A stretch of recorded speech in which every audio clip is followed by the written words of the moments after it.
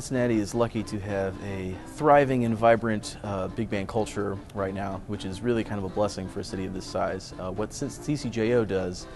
is present two seasons of a very highly polished musical product that's um, often themed and really created to be a, an all-inclusive musical experience, uh, focusing a lot on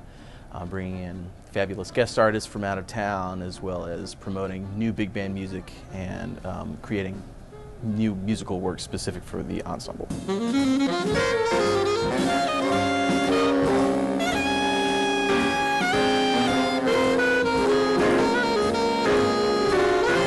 Well, first of all, CCJO concerts are going to be a lot of fun. Classy atmosphere, have good food, good drink, and you're going to be um, listening to uh, a locally sourced product that um, you can only get in front of the CCJO. Um, and in addition to playing really fun music that's accessible to all levels of listeners, all age groups, and experience levels with jazz, you're also going to learn a little bit about the jazz art form, which is one of America's greatest cultural exports.